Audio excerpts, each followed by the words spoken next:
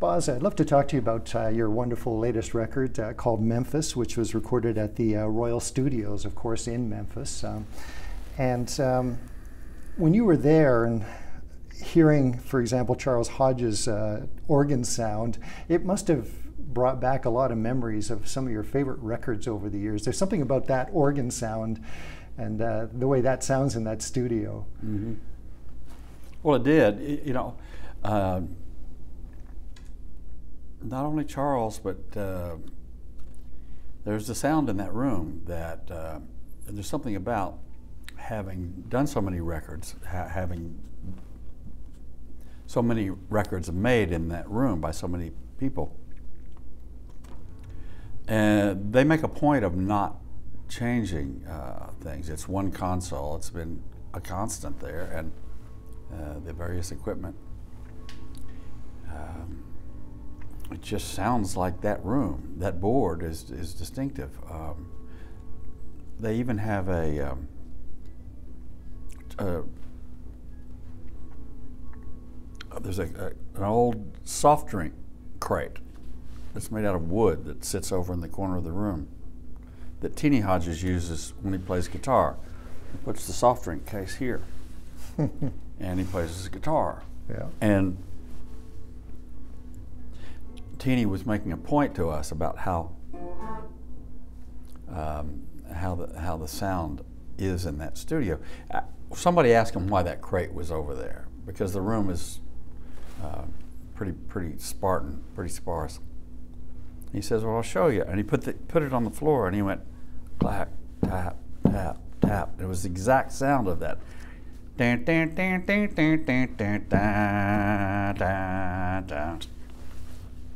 You just you just hear things. There's one tambourine that's been hanging on a nail for decades. It's the only tambourine that they use. And there's a there's a conga drum that's set up there. That's the one that goes dun ticka dun ticka dun ticka dun when they do the all the Al Green hits and, and Peebles hits. It's it's the distinct sound of that studio, hmm. and um, there's so much about it that is uh, uh, just just built into the walls. So many sounds that are familiar, but certainly uh, Charles Hodges would be high on the list of distinctive sounds and styles of playing that you'd hear there. You did uh, a part of uh, your Come On Home album there as well. Um, and, uh, and you used Willie Mitchell's horns, and, and I was just wondering, was, was Willie directly involved in that uh, recording that you did? Did you get to know him uh, over the years? Yeah, he's, uh, not over the years, but the, when we went to do those, I did some sessions with the the, uh, the the quartet of musicians, which we didn't use any of those tracks, but Willie was there for that, and then he did uh, the arrangements for some of those songs on the Come On Home record. So he's just Willie's just there. He's just hanging out like everybody else and uh, in on everything. And um, so yeah, I got a good sense of uh, Willie Mitchell. He's he's not a shy person, and he's loves to talk and loves to, you know, be present. He's very present in his room. Mm-hmm. A couple of songs off the uh, the Memphis uh, record. Um, I mean, it's so good to be here. Is you really captured that wonderful oh, Memphis sound. What a great tune that is. It really is, isn't it? Anything you'd like to say about that particular song? Well, that was uh, that's an Al Green song, and uh, albeit uh, one that was I don't believe it was a single, uh, and although I knew that album it was on uh, but I just did not recall that song. So somehow it got away and it seemed like a new song to me. And doing an Al Green song in Al Green's studio with Al Green's presence all over the place was a bit intimidating. But um, uh, Steve Jordan, the producer, was very um, I was asking him, you know, are, are we getting this? Are, are, we, are we really able to get our own signature on this song? He was very encouraging about it, and, and just really encouraged me to, to uh, to, to do that song. and um, it wasn't it wasn't easy. Uh, I felt like I was very much in Al's uh, footprint uh, in doing that. So, uh, but I was really pleased the way it came out. I think a song that you definitely have your signature on is uh, "You Got Me Crying," which goes back to the, uh, the kind of almost a Jimmy Reed groove. Well, it is a Jimmy Reed groove, but Jimmy something that's been yeah. part of your life for a long time. Mhm. That kind of sound, Mhm. um, and you've brought that back several times. And, Mhm. and I love the way you incorporated Royal into that sound on this one. Oh, thanks. Um, but just as, as a point uh, of interest, and, and, I've never been asked this question, but that's, that song was actually recorded. It's the only song on that record that I actually brought in from. I had done some demos in, in Nashville with a friend of mine named Shannon Forrest, a drummer. And um, uh, Rick Vito played guitar, and David Hungate played uh, bass on it, and it's the only one that actually wasn't recorded in that room, but it was Oh, mixed in there. Okay. And just by going through that equipment, Yeah. it got it it picked up some of the, the feeling of that uh, of that room. That's how distinctive the, sound is. But yeah, um, I love Jimmy Reed. He's uh, right up there with. I don't know if I had to name five greats. It would I can I would say Ray Charles and and Jimmy Reed and Bobby Bland just to, just to start. But Jimmy Reed is extra, extremely important to me. Would you have heard him when you were in Texas? Oh yeah. Going to school. Uh, Oh, v- very first, uh, very formative uh, um, influence in, in why I do what I do. Um, it's one of those things that I always I call a, a hallmark, a, a landmark when I remember exactly where I was when I heard it, heard a, a particular artist the first time. And Jimmy Reed was, uh, I mean, I guess I was 15 or 14 years old, and, uh, and when I heard my first Jimmy Reed, I must have been younger than that. But there was one song, "Take Out Some Insurance," that I remember that really set me off on on Jimmy Reed. Uh, but yeah, he's very important to me, and I heard that early on in Texas. Well, that would have been in Dallas, I, I guess. I lived in a small town outside of Dallas. It, called, it was called, it is called Plano, and now Plano is just a part of the whole Dallas-Fort Worth metroplex. Uh, but at that time, it was just a little town of 500 people out in the middle of nowhere. And apart from Jimmy Reed, uh, did you get a chance to actually um, see some of the other great blues people that were working in the Texas area? And in, I guess that would have been the Hmm. mid '60s. Well, um, I saw Lightning Hopkins a number of times. I saw Freddie King, I think. Um,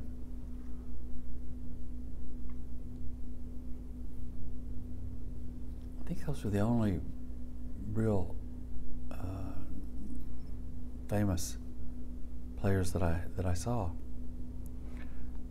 I love uh, "Dry Spell" on on uh, Memphis, uh, and and when I heard that, when I listened to it, I, I, I hear a little Lightning Hopkins in there.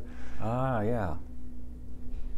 Yeah. Um, well, a friend of mine who's a Chicago uh, harp player, who's my generation, who I knew vaguely back in Chicago years and years ago, but who migrated to San Francisco as I did, and who has remained a good friend over a number of years, wrote that song, and he's uh, uh, he's steeped in the Chicago uh, harp uh, tradition, and he. Um, well, he's, he's one of the best songwriters I know.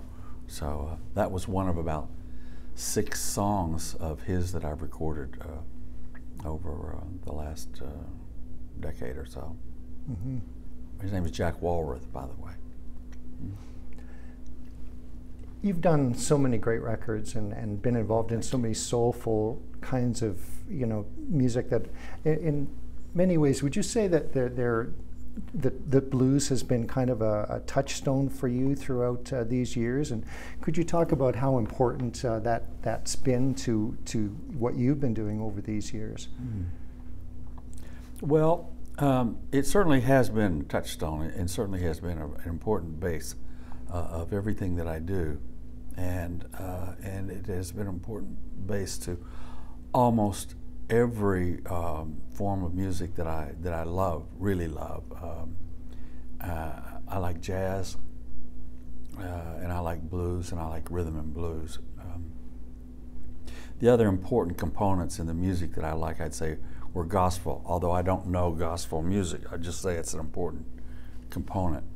But uh, blues, jazz, and rhythm and blues are, are uh, where, where I I can touch the music. That's what that's what I can kind of use to influence my voice and my in my uh, my guitar playing. I like other kinds of music as well, and have been influenced by uh, the Great American Songbook. I, have been influenced by um, uh, anything that has a guitar on it. I love Chet Atkins. I love flamenco music. I love uh, South American style guitar. I love Hawaiian guitar. I love the guitar as an instrument, but I can actually reproduce a little bit of the blues and some R&B, and, and I have some sort of jazz stylings. I'm not a jazz musician, but I can I, I feel and use some of that, some influences. Um, and blues is at the base of it all. And um, the wonderful thing about having, uh, I call it American roots music as, a, as sort of a first love, is that you can, it keeps going back and back and back. You can keep searching to find its roots. Um, we talked about Jimmy Reed for, for a minute.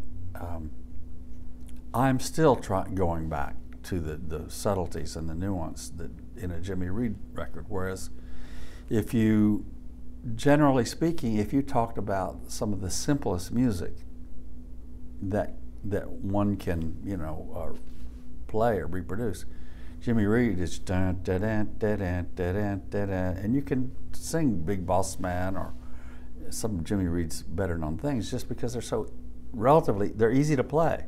But once you get into the, the subtleties of it, they're so esoteric and so uh, so uh, exotic that I'm still uh, still searching and digging into that music for, for its base. And then in terms of the blues as, as a uh, going to the source of the blues is, is, is a is a, a doctorate study uh, that has been undertaken by by far more uh, intelligent people than I. I mean, it, there are sources in there that are still being discovered for for where this music comes from and, and, and how it reaches the, the human soul and the human existence. It's deep, deep stuff. When you were in Oakland, uh, when you came out to California, there were still some amazing, well, there was an Oakland scene there, a blues scene, and Percy Mayfield, uh, so many other people were out there. Did you have a chance to uh, uh appreciate that and, and uh, enjoy that when you were in Oakland?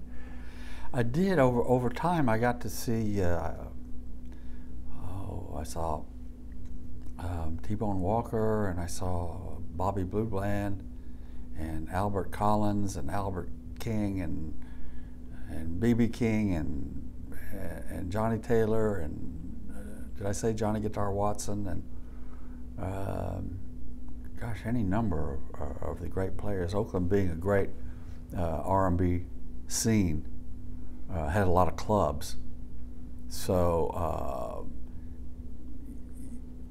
uh, you know, you got to see a lot of musicians who migrated up from LA or came up to play regularly or the big stars from back east and the Midwest and the South would come out, uh, and, and there was enough of an audience and enough venues that they could go play in, uh, in Oakland.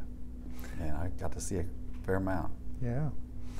And then there was that crossover too to the Fillmore, um, where so many of those people you mentioned played the Fillmore, and, Mm-hmm. and you with the Steve Miller Band at the time, I think maybe played the Fillmore just about as much as anybody back then. Uh, Well, Steve did. I I was with the Steve Miller Blues Band for about oh eight or nine months, um, and uh, kind of on the scene with with with that band, and, and I got to see a lot. You know, just as you're talking, I remember. I'm remembering more and more acts. A lot of the Chicago acts came out, Texas bands, and so on and so forth.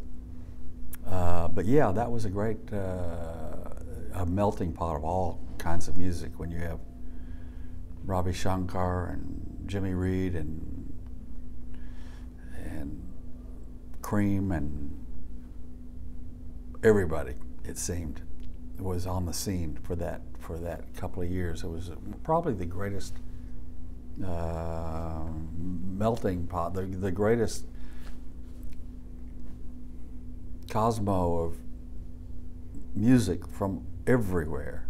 Miles Davis and John Coltrane and everybody came came through San Francisco at that at that little brief period of time. I don't think there's ever been a confluence like that in the history of music. Yeah. And then some of the bills would have some of the great poets of the of the of the San Francisco scene on them as well. I gather. That's right. Yeah. Yeah. Ferlinghetti and Ginsberg. And it was just a marvelous scene. Uh, I'm sure you saw the Muscle Shoals film. Um, I have not, in Oh, is fact. that right? I've heard everybody has called me, for whatever reasons, I just have not made that connection, but I hear it's just great. yeah, yeah. And uh, another studio, another famous, famous studio that you had uh, a wonderful opportunity to record Mhm, in for your mhm. first solo album. That's right. And then, of course, Somebody loaned Me a Dime, which is such a classic. Um, do you still, was that a one take kind of a tune? Uh, what It was two memories? takes, really. we, takes, we yeah. had finished making the record. Uh, you, you get in those days, you took one week to make a record. That's and then you'd finish up on Saturday night. They would take Sunday off, and then Monday morning, they would another artist would come in, and they would work for six days with them, and bang, bang, bang. The calendar just went six days at a, or one week at a time.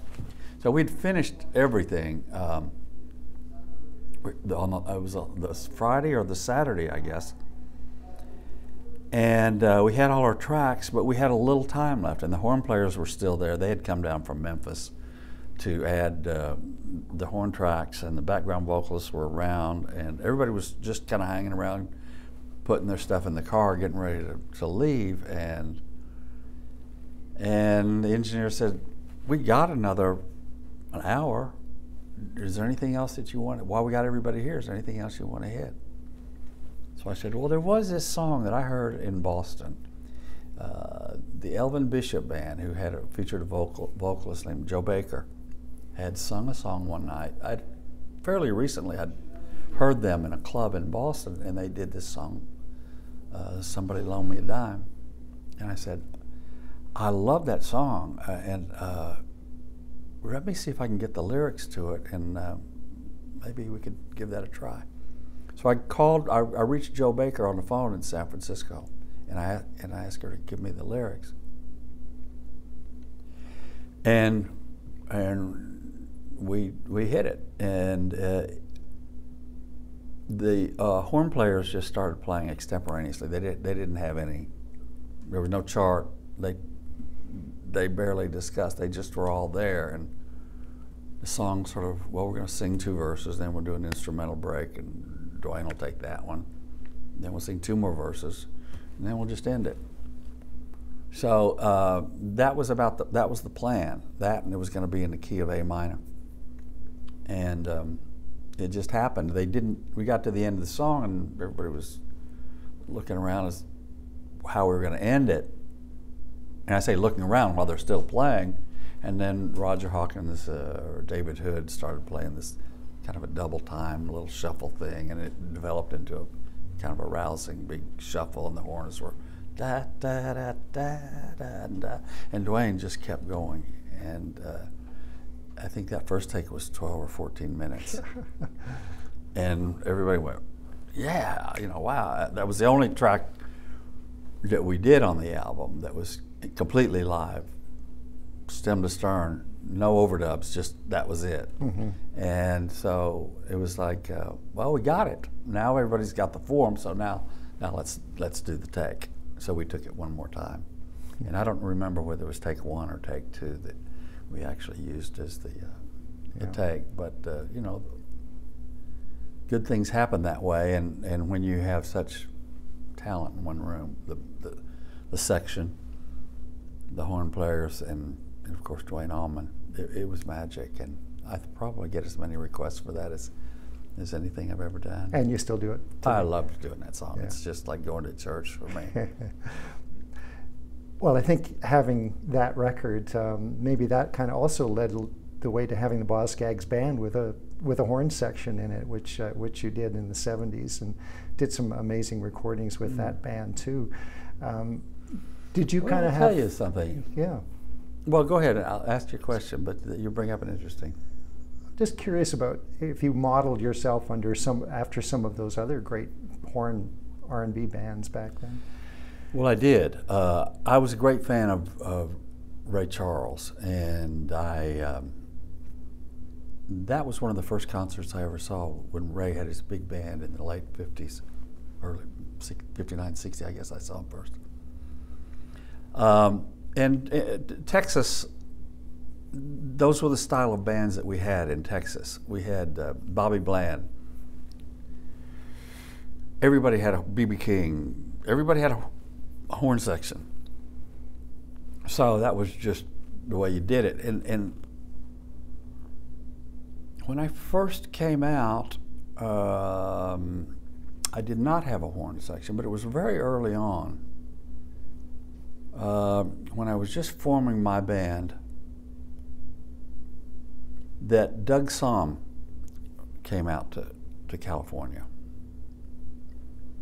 He had actually come out before, but, but he came to San Francisco, and I was able to see him. He had a band called the, the, the Honky Blues Band. He had about four horns and uh, a typical Texas lineup: uh, bass, a couple of guitars, drums, and a horn section.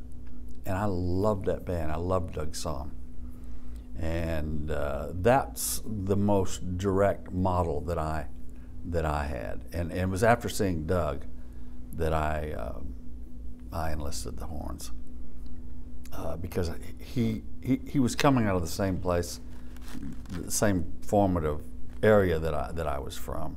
He loved the same music. We loved the same bass core of music. Louisiana, East Texas, uh, South Texas, and, and all the guitar players. And but he had brought it all into one section, and when I saw that band, it was just like a, a dream come true for me. So I, I must say that Doug was probably my model in in actually putting together a horn band. I'm so glad to hear you say that because uh, I'm just a huge Doug Sahm fan. Yeah, and, and a lot of. Was a good friend of his. He moved up to Canada for a couple of years. And, I didn't uh, know that. Yeah, yeah. I lived uh, in, in, BC Coast, uh, uh, Vancouver Island, and uh, and I, I, I actually that. put together that band, the Amos Garrett, Doug Sahm, Gene Taylor band, and oh that was his gosh. Canadian band. Wow.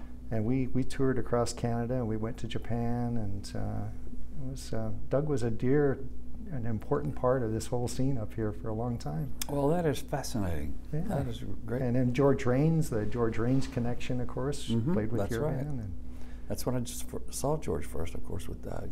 You developed a real hybrid of, uh, of soul music and, and became uh, a, a, better vocalist in your in your own approach, I think, and, and your recordings. Um, you've talked about that in the past, and and um, had incredible success as a result of that. And I'm just wondering what uh, what led you to what what was it that, that paved the way for you to thinking like a better vocalist when when you went through that transformation in a way? Well, I. Uh, um, I'm, I'm a product of all the singers that, I, that I've heard, and that goes back well beyond my, uh, my influence by the blues. I, I, grew up in a house, uh, my parents had music in the, in, in that in the house, and I was exposed to a lot of singers. And the first thing I actually did, uh, right along with learning how to play guitar, was was sing, sing folk music, and then the blues and the rhythm and blues and high school bands and and so on. Um, the the important uh, Nat King Cole was important to me, or uh, Sinatra was important, or Chet Baker was important, and the women singers, uh, Nancy Nancy Wilson, who I first heard in, in Texas, she was a 19-year-old from from San Antonio that I heard, and uh, I still rate her. I, she's still a model to me. Of course, Ella and and and and um, well, all the singers I've ever heard are burned into my into my style. Um, but after you've done it for for a while, after you've sung and you start making records, you become more conscious of yourself as a singer.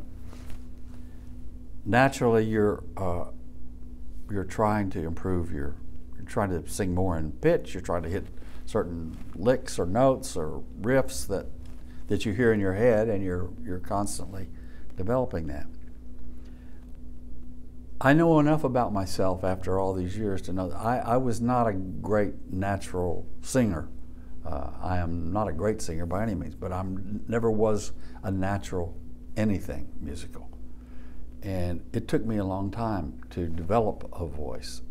I listened to early, uh, you know, to Beatles records.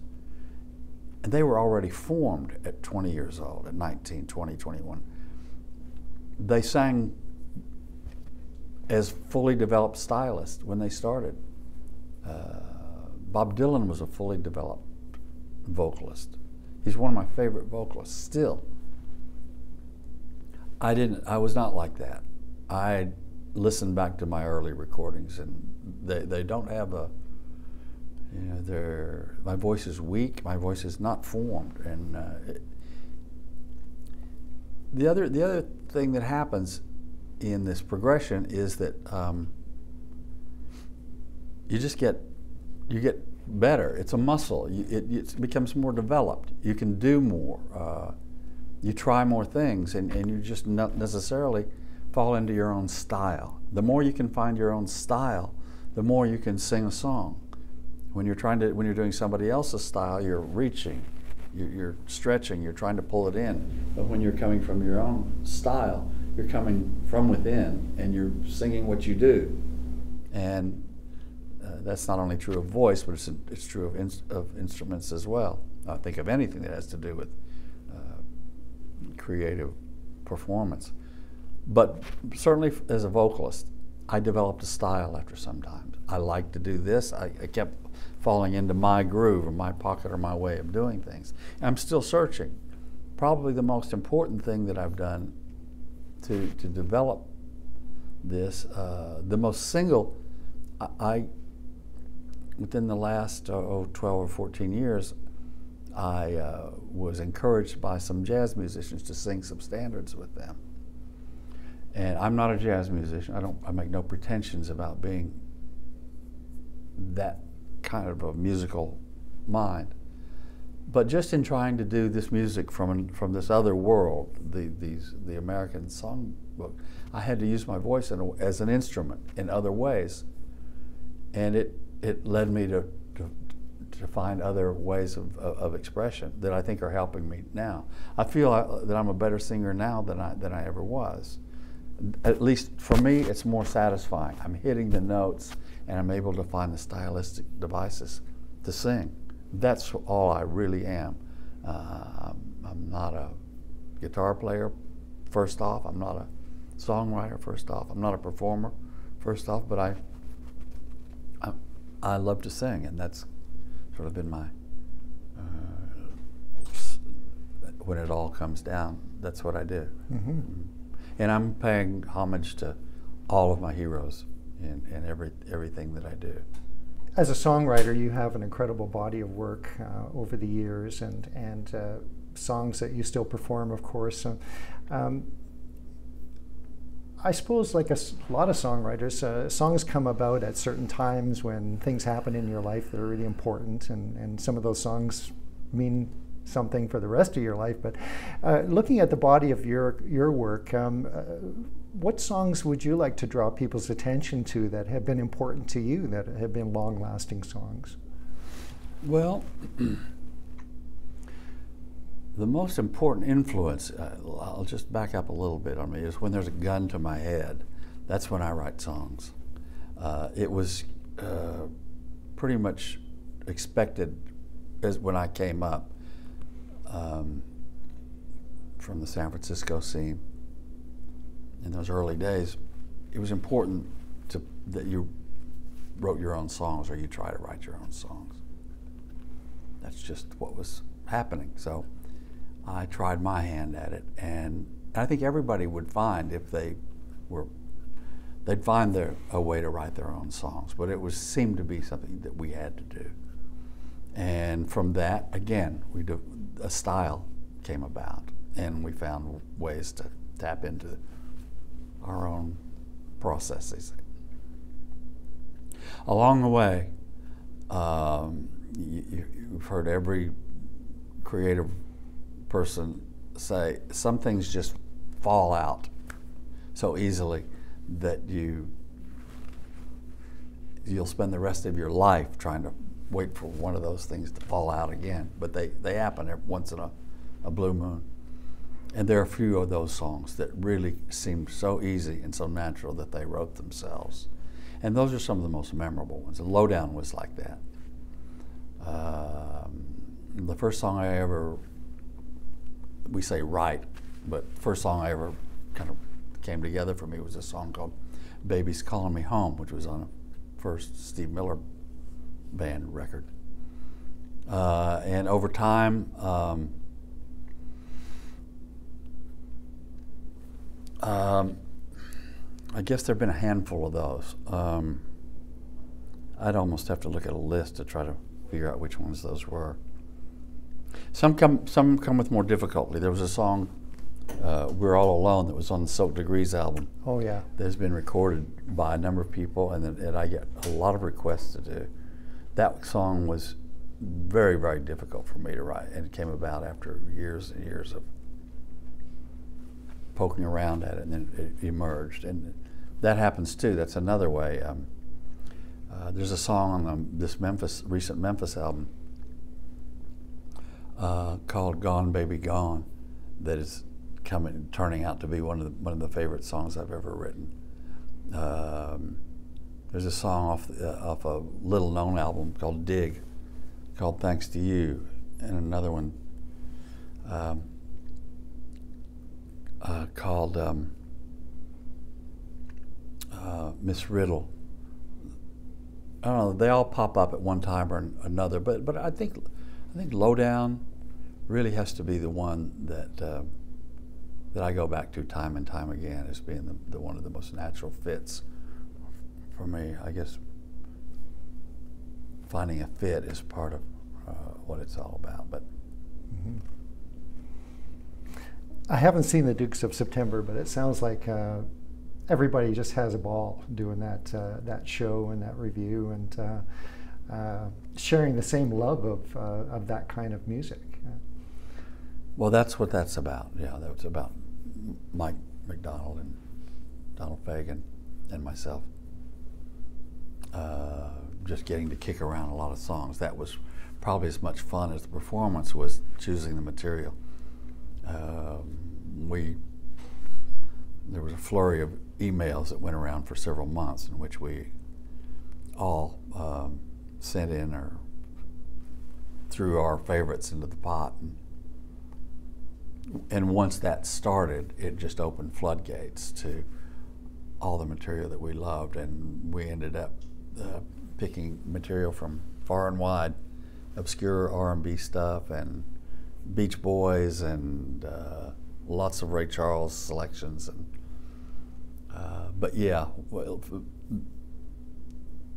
making music with like-minded souls is, is, is great, and it's also great. We were we were all on stage all the time, so we didn't have to be the front guy all the time like we have to do in our solo careers.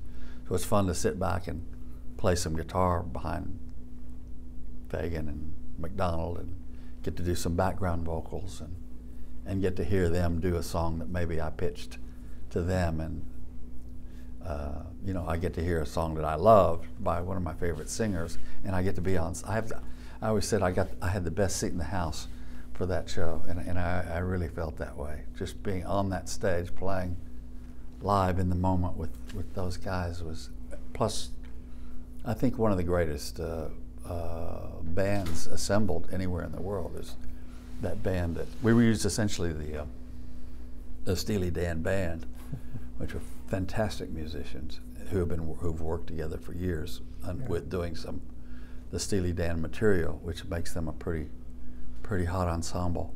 So uh, it was that was a that was a great experience. I sure appreciate your time today, Boz. Thank you very much. Thank you. And it's great to talk to you about uh, going back to the old love of blues. Well, it's great to, to, to have this conversation, and it's it's obviously a labor of love for both of us, and, and that's what a good conversation is about. So, thank you.